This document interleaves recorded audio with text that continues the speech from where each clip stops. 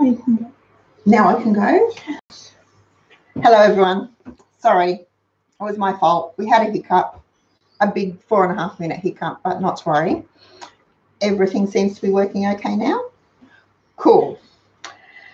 Welcome to Thursdays in the kitchen. That hiccup is just gives you an idea of what's what my afternoon's been like. So been one hiccup after another, let me tell you. Never mind. Now I've forgotten what we are going to do. Oh yes. We're making, we're baking and making and cheese boarding.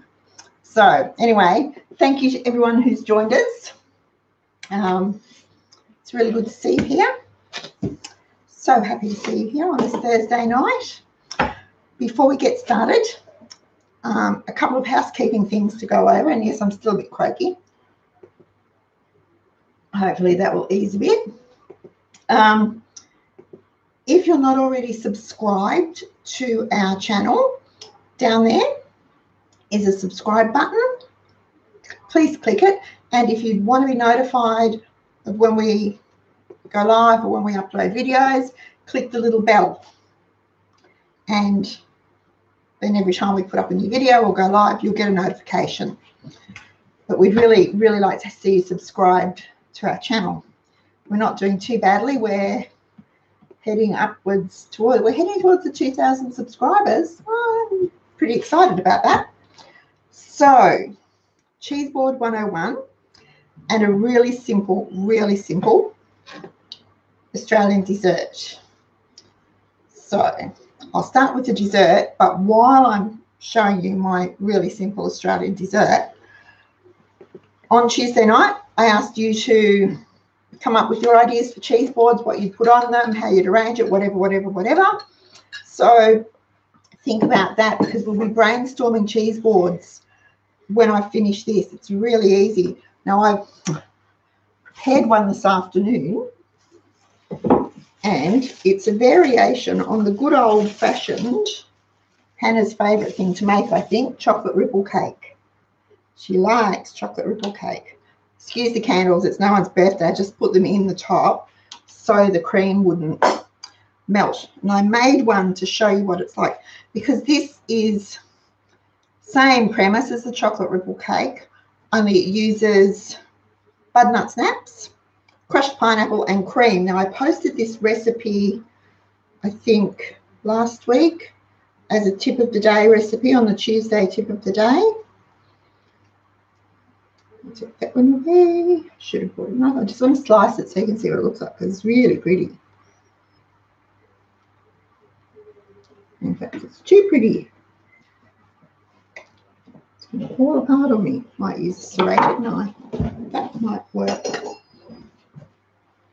You cut it on the angle, you get the layers, you get the stripes. I think most of us know that. Okay, let me see if I can do that. Late. Late.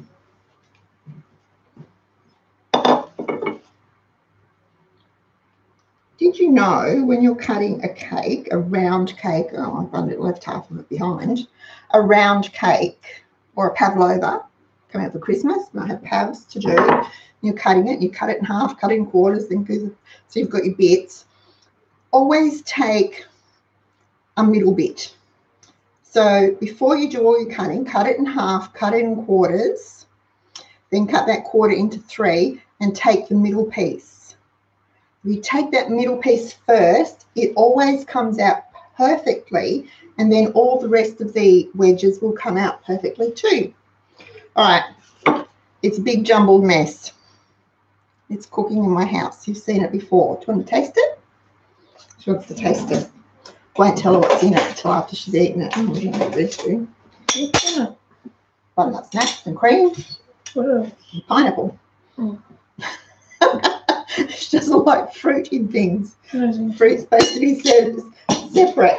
So that's the Australian twist though. A good old tin of golden circle. I had to really hunt for golden circle too. Crushed pineapple. I flatly refuse to buy Dole pineapple. I just won't.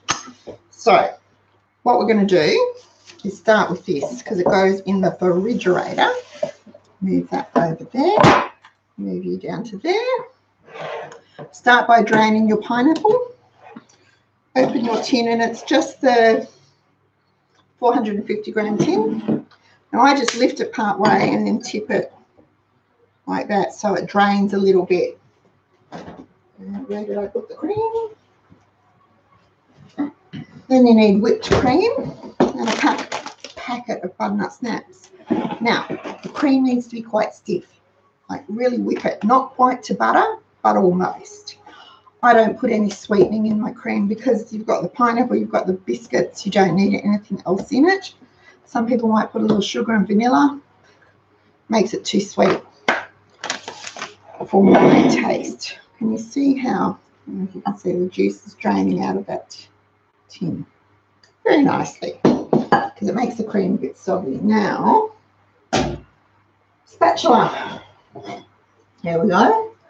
To get the biscuits to stand up on the plate, take some of your cream, put it in the middle, and then just spread a line of it down the, down the middle of the plate, just like so. And that will act like glue, so your bickies will stand up. Then we take some, sorry for the bang, take some of the cream. Now this is um, 600 mils, so you only need about half of that, about 300 mils, just a small jar of cream. Will. When the pineapple's drained, holds a lot of juice. Don't throw your juice out, use it for marinades or drink it or put it into icy poles. Dump the pineapple in,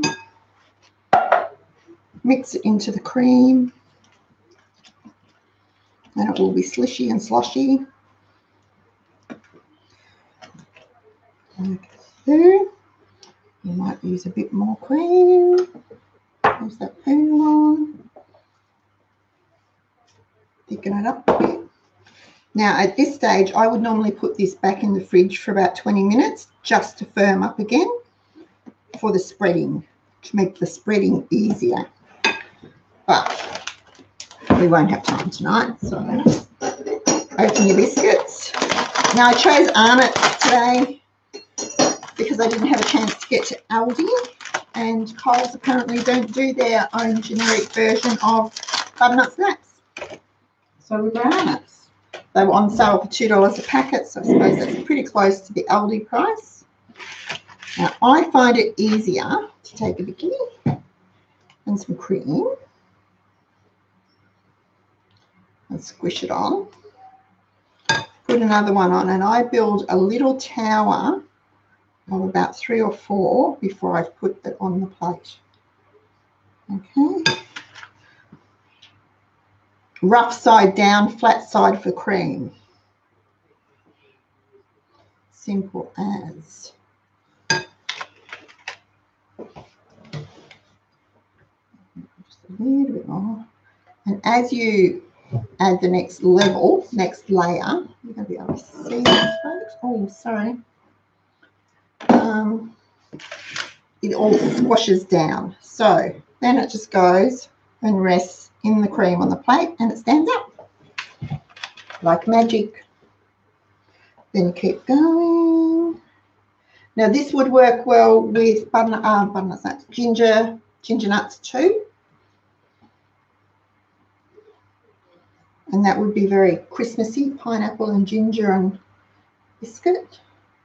It would be very Christmassy. Okay. Best made the day before. So your bickies have time to soften.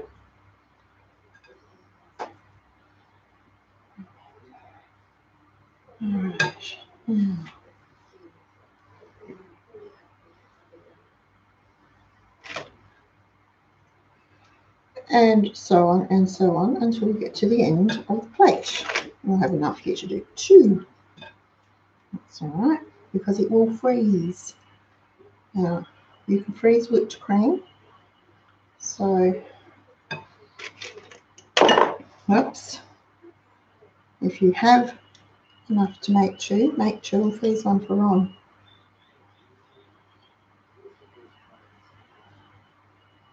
Okay. Just like so. Really, two more.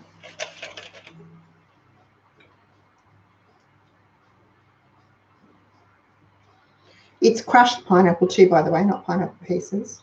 I think that's why I had trouble finding.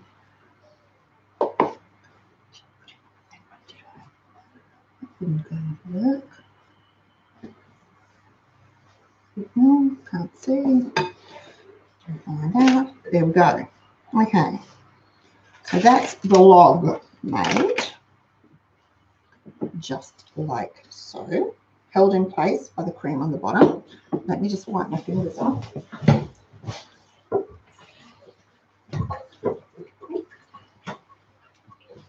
And then we'll decorate the outside with the remaining cream. Now, best made on the plate you're going to serve it on. Much easier than trying to lift it off another plate. So to decorate it, I'm inclined to hold it and just very carefully do the sides first along the bottom so that you can be a bit neat and not get cream everywhere. Just like so. Uh, so. This is where your trusty silicon spatulas come in because they're so flexible. And blobs on the top. Piece of pineapple that hasn't um, crushed. That won't do because it will stand out. Now, for toppings, once you've covered it in the cream, you can um, sprinkle it with some grated macadamias or some grated um, almonds, slivered almonds. Could use um, glacé ginger if you wanted to. The top.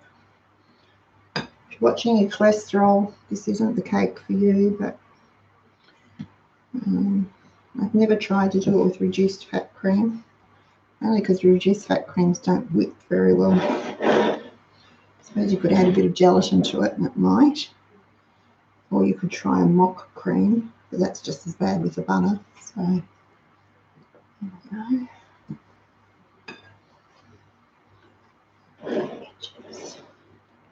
Cover. You want all the bicky to be covered, is the, the idea. Now this is really old. Chocolate ripple cake's been around since Noah was a boy, I think. And use your spatula to clean up around the base so that it's nice and neat on the plate and not messy. That's it, done. Into the fridge overnight works best.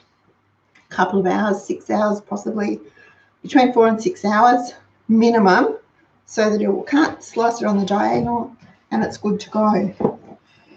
Easy as. It will keep for up to five days in the fridge if you can keep the fridge fairies out of it. So it lasts really well. But if you don't like that version, just do the old fashioned chocolate ripple cake. So you've got chocolate ripple biscuits and whipped cream. Simple, same premise. Slather the layers together with the cream, cover it, put it in the fridge to trill, sprinkle grated chocolate over the top. Or you could do Black Forest and use some either glacé cherries or really well drained um, tin cherries into the cream and do it that way. If you're going to do that, save some of the cherry syrup and drizzle it over the bickies um, before you put them together to make them, they soak up the liquid. What else, what other variations can we do? I have heaps of them on the website. In the desserts recipe file, there's a whole heap of ripple cake variations with different biscuits, ginger nuts, butternut snaps, um, chocolate ripple or whatever, shortbread. You can do it with shortbread. You can do it with all sorts of, any sort of roundish type biscuit will work for a ripple cake. All right, now I'm going to move this out of the way pop that back in the fridge, pop that back in the fridge. Can't put that back in there. You'll have to wait till Ron. There we go. Put the glad wrap back over this. The boys can eat this one for their dessert. Some of it. And that's it. Now, another, oh, I was going to say another really nice variation is mango and passion fruit. So, and mangoes have been so cheap this week. It's a shame I don't like them. I can't stand mango, but mangoes have been really cheap. But do the same thing. Finely chop some mango, put it into the cream, save some for decorating the top, layer it together with butternut snaps, make it up, and then drizzle passion fruit um, pulp over the top. When you finish, when just before you're ready to serve, drizzle with passion fruit pulp and decorate it with some more mango cheeks. It's really nice, apparently. But as I said, I don't eat mango, so can't help you with that. Now I'm just going to pop this back into the fridge. There we go. And I'll grab that trusty glad wrap to cover this one. Where's those candles? Just to keep the plastic off the top. Oh, can't find a break in the Vicky. There we go. This one. Now, turn it around. I'm thinking I need to use more glad wrap because the box is falling apart. I don't use it fast enough. In fact, I've probably used more glad wrap since I've been doing this show than I have in the last 10 years.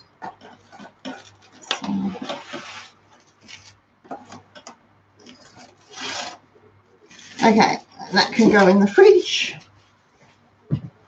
On the other side, oops, trade places with you. There you go. Perfect. Okay. So, really easy dessert. Costs, oh boy, did I nearly die of fright when I picked up the bottle of cream today. I picked up without even look. I just saw the bottle and picked it up. It was over four dollars. And I thought, wow, that was the Bulla cream. So we quickly switched back to the nice normal generic cream and gave the um, brand name cream a miss. Wowzers. That was a horrifying thought. Okay, we'll get rid of this and we'll talk cheese boards. That's something we can talk about. Talk about and do good. Now, cheese boards can be for one, cheese boards can be for two, cheese boards can be for a group of people. For wine time. For wine time. Why? No, not that wine. No. For wine time. Picnics, quick lunches, something to nibble on before you go to bed. Of course, for parties and barbecues and, and coming up for this time of year, they're absolutely everywhere. But if you go to order one or buy one, they're really expensive. I saw I, on a catering thing that they were 60 odd dollars and it would serve six to eight people. And, I'd want to be some really fancy cheeses, was my thought. But they don't need to be elaborate and they don't really need to be um, hard to put together either. You just need to think about the things. So, what we usually do I have a couple of, if I'm making it for party, a couple of different trays that I use. And they're both cut glass that I've collected over the years. There's that one I like because it has sides on it. So if I decide to put olives or um, the little pickled onions or um, cheese cubes or something, they don't roll off. And there's this one which is another one I picked up at the op shop. It's just cut glass. It was about $3.50, I think. Were you with me? Something so. like that. And I like this one because it's divided. So it's not actually designed for cheese boards, but I like the fact that it's divided because sometimes you don't want everything touching. So, or there's this. And this is literally a board. Now, this um, I inherited from Wayne's grandmother. She actually made it in, in 1932. She made it. So it's a piece of timber that she's um, burnt and then painted and lacquered.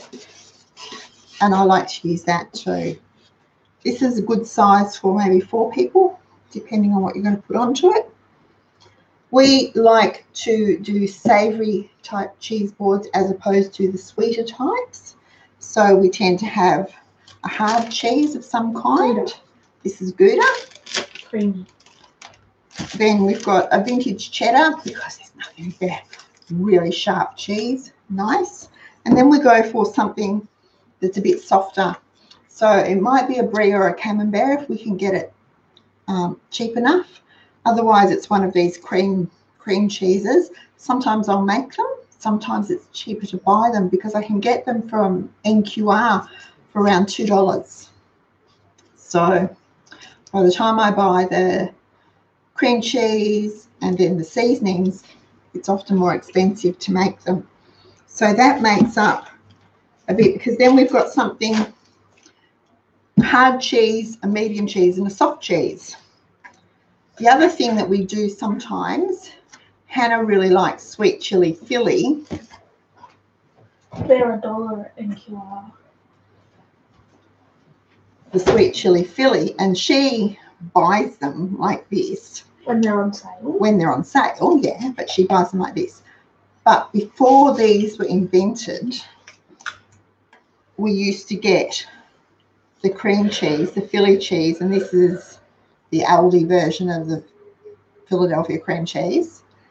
And we get one of those and either a jar of salsa, which is really nice, or um, some sweet chili sauce and do the same thing. So that will go upside down on a little saucer or in a little dip bowl and we'd pour the salsa or the sweet chili sauce over the top. And that was really nice. Now, if we were doing salsa, I always put corn chips on the plate as well. If it's just the sweet chili, I just leave the crackers and I go for more um, carrot sticks and capsicum, thick strips of capsicum for scooping. And I'll show you a secret to cutting the capsicum so it's really easy and you're not fighting all those seeds. I'll show you in a moment. Or, of course, you have good old crackers. Now these, I don't know how much they are. Normally it was $3, $2.99 NQR. So I picked up a couple to do as over Christmas and New Year's because they're easy. Different varieties of crackers, easy to do. To fill in the gaps, we could have olives, sun-dried tomatoes. We'll do um, the capsicum and the Carrot. carrot sticks. We could have um, salami, rolled up salami. The little, if you can get the little knobs of salami, and you can often pick them up um, marked down at Coles are often around $2 or from NQR for around the same price. Slice them thinly and they sort of roll up. A bit like um, when you're doing asparagus rolls. So you just roll them up and put them, I stand them up so they look like a bit of fancy flour, but anyway, they go well too. So they fit in with the cheeses and then you fill in the gaps again with biscuits or chips or whatever. And that makes a really good cheese plate. That's a nice one for nibbling on. If you want to do one that's more like a meal, we'd still stick with the three cheeses, but we do the little bread sticks. So you'll get um, French bread if you want to, thinly sliced, so probably about a centimetre, slice them about a centimetre, put them in the oven for five to seven minutes till they're not dried right out, but they're firm on top. Let them cool, put them on your plate, and then always have a knife of some kind, so a cheese knife of some kind, for especially for the soft cheeses, for spreading. So you can take some, spread it on your little piece of bread and munch away. And that one you can do as a meal. So then you would add sun-dried tomatoes. You might change up the veggies to be more um, cucumber sticks um, or celery if you want to, but you really don't have much to dip into celery except your soft cheese. So things like that. And or and or chop your hard cheese into cubes, slice up some cabana and put that on the side. That's a, that's all that never lasts long when we bring that out and have that as a meal cheese board. If you want to do a dessert cheese board, when I do a dessert cheese board, I usually use this plate. I have two cheeses. Um, oh, I thought I had them out. What? But there's usually one that's sort of a sweet cheese, so an apricot and ginger or Apricot, something. Almond. Apricot and almond and something and ginger. I've got them in the fridge, haven't I? I've already bought them for Christmas. Sorry, guys. These ones we've got melon and mango and apricot and almond.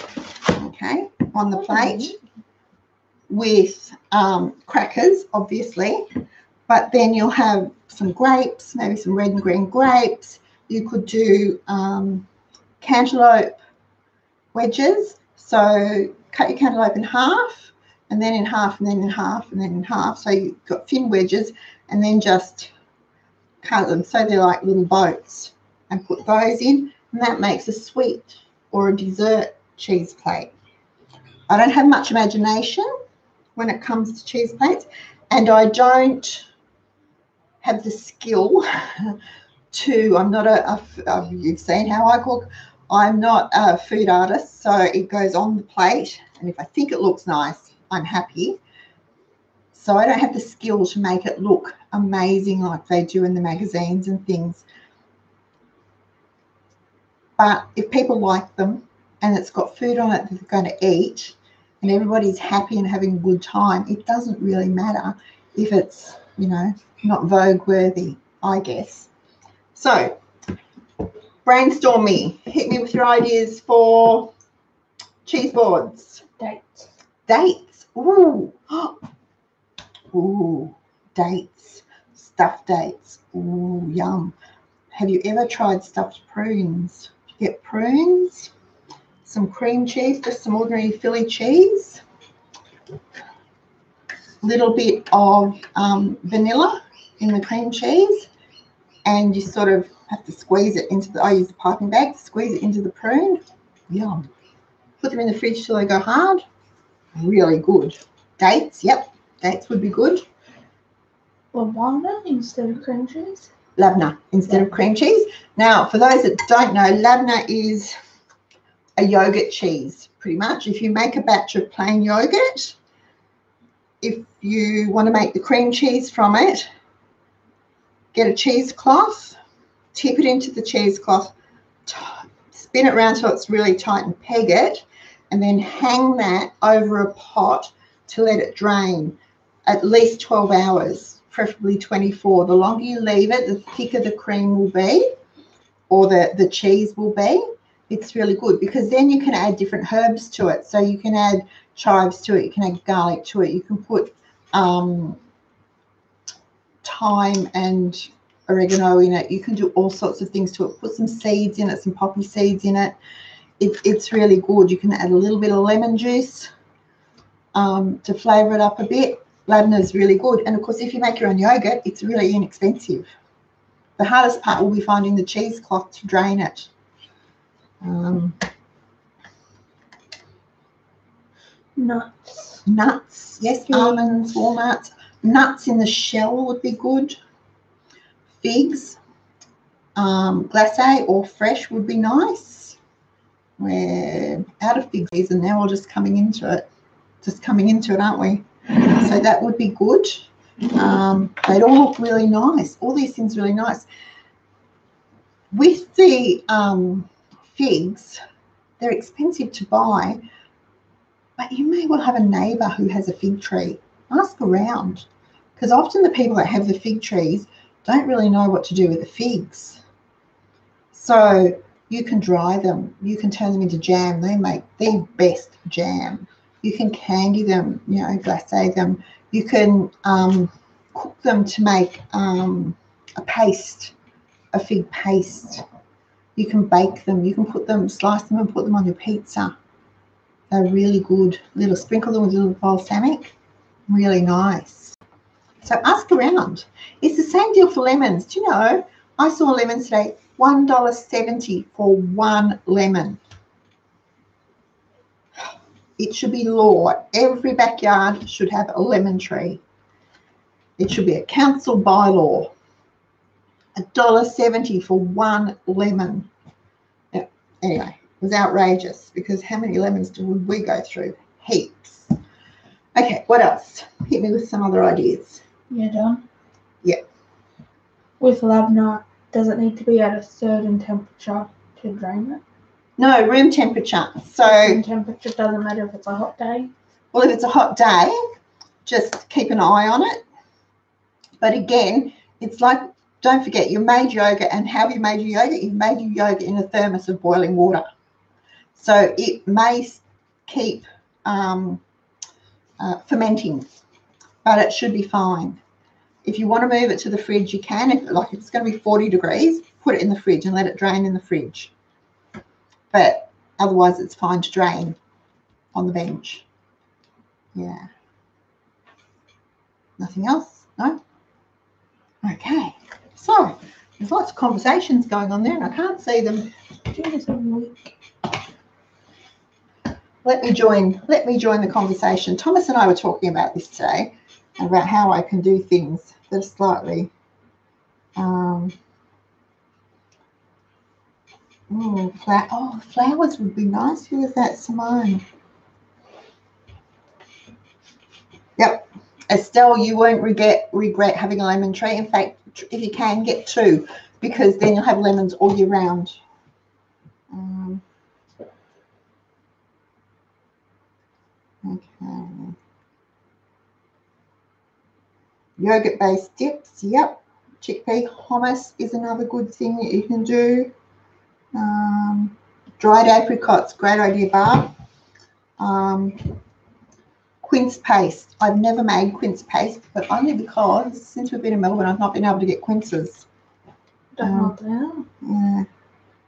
Breadsticks wrapped in prosciutto, grapes, semi-dried tomatoes. Cool. Oh, nashi pear. Never thought of nashi pears. Joy. And the kids used to love them when they were little. Um, cheese, Simone says, cheese sliced off the block, cut into squares, then cut again into triangles. Raid the pantry for dried fruits, nuts, seeds, apricots, etc. Now, just reminded me then of um, I used to do this um, when I was catering for um, camps and things, and it was a, a cheese savoury. And what we do would be get grated cheese and we would have grated cheese and butter and we'd beat it in the food processor until it was smooth, smooth like a cream cheese. Then we'd get square bread, not the oblong bread, the square bread, cut the crusts off and spread it with this. We do four layers with the butter and cheese mixture between them, then cover it with the butter and cheese mixture and bake it in the oven and it will go all gooey on the inside but crispy on the outside. And then we'd cut it into um, three one way and three the other way to get nine sort of wedges or blocks of this savoury. You'd put a toothpick through them, really nice. And it didn't take long to do either. It was really good. Okay. So all these things coming out.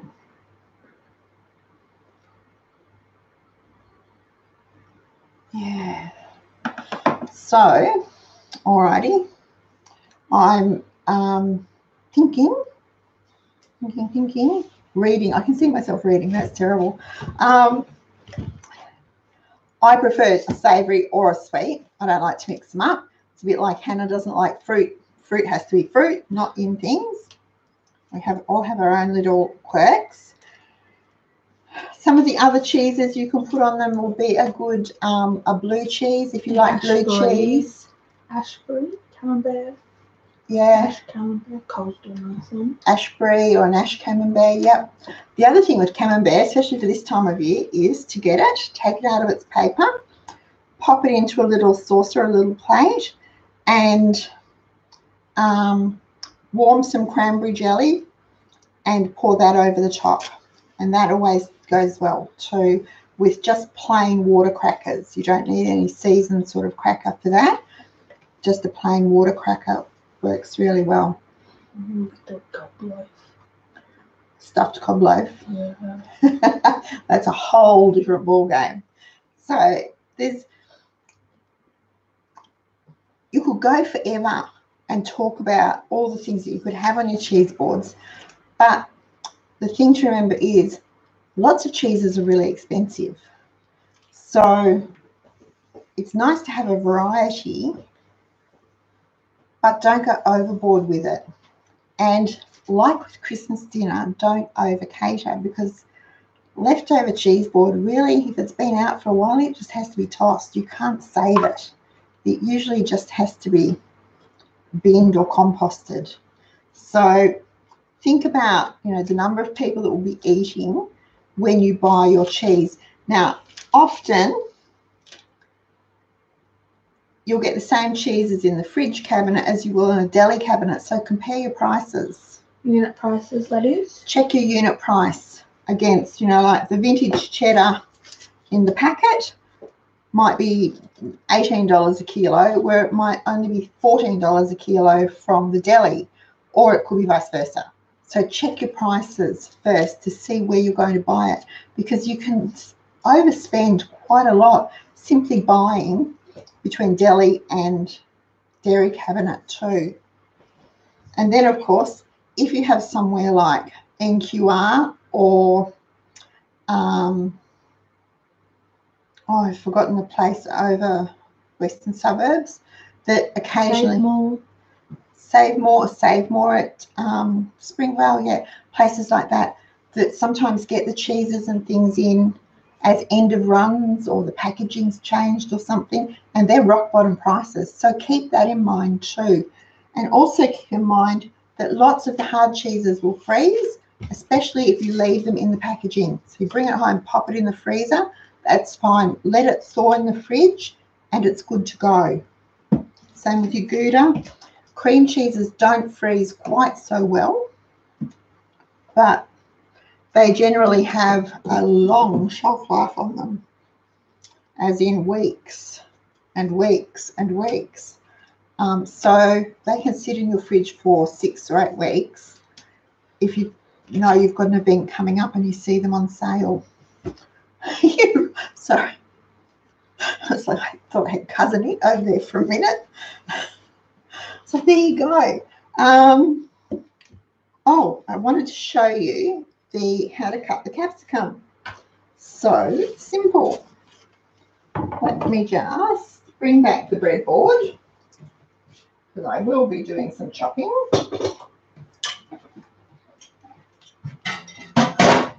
Wipe that cream off because we don't know cream or capsicum. Because capsicum can be um, a tad tricky. So, easiest way is to stand it on its end and see where the stalk goes. Get your knife and run it down as close as you can to where the stalk goes. Do the same thing like that. This one's just going to break other one's going to cooperate. And then you can just go like so. Peel it out. If there's any white bits left that you don't want, peel it out. There you go. Then you can just chop it. For the cheese boards, I like to do the biggest pieces. So I cut them in half, about that. And then they're probably centimetre, centimetre and a half wide. And just like so. Because then they're like little scoops because you've got that valley, because you've got the um, wrinkle, you've got the little scoopy bit too. Um, don't cut them so big that people will be tempted to double dip. But yeah, that's the easiest way. And then, of course, if you want to do thin ones, you just get them like that and like that. To do chopping, just chop it like that. Now, capsicum will freeze if you have an overabundance in your garden. Um, you're right there, munching away. You can hear crunching. Hannah's eating the capsicum. If you have an abundance in your garden, it will freeze. It dries. Um, you can dehydrate it. And dehydrate it. Yeah, you can dehydrate it. Hmm. And um, freeze it. I often will just get a whole bunch of them, chop them up, bag them up in half cup lots and put them in the freezer because then it's just straight into the casserole or the soup or the spaghetti sauce. It's really easy. Now,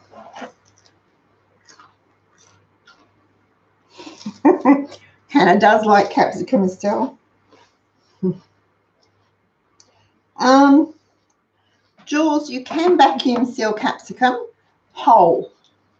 Chopped capsicum, yeah, it won't last that much longer vacuum sealed as to not vacuum sealing, so I wouldn't waste the bag. Um, yeah. Um,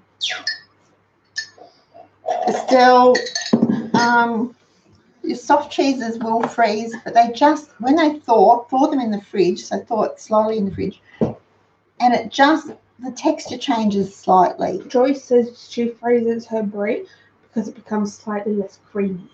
Oh, okay, there you go. Maybe that's what happens. Yeah, Like, the texture changes just a little. It's still, it's in its skin, so it still holds its shape. Still tastes all right. Works works fine. If you can find it cheap enough that you can buy enough to freeze, it wouldn't last long enough in this house. No. Uh, thank you, Joy. Cheaper by miles. That's the other place I was thinking of. Oh, Leonie, beetroot relish. Do you have a recipe for beetroot relish that you could share? That would be really good. Sorry, guys, I can't see with my glasses on. Um, oh, cocktail pickled onions, the three colours. I remember mum doing um, the cocktail onions with cheese cubes on the toothpick and then putting them into an orange, Oh. poking them into the orange. And so that was 70s. that was that was sixties. That was the hors d'oeuvre of the day. If you had those on your table, you were really posh. oh, we've come a long way, haven't we? Well, those some of those things are still really good. Um,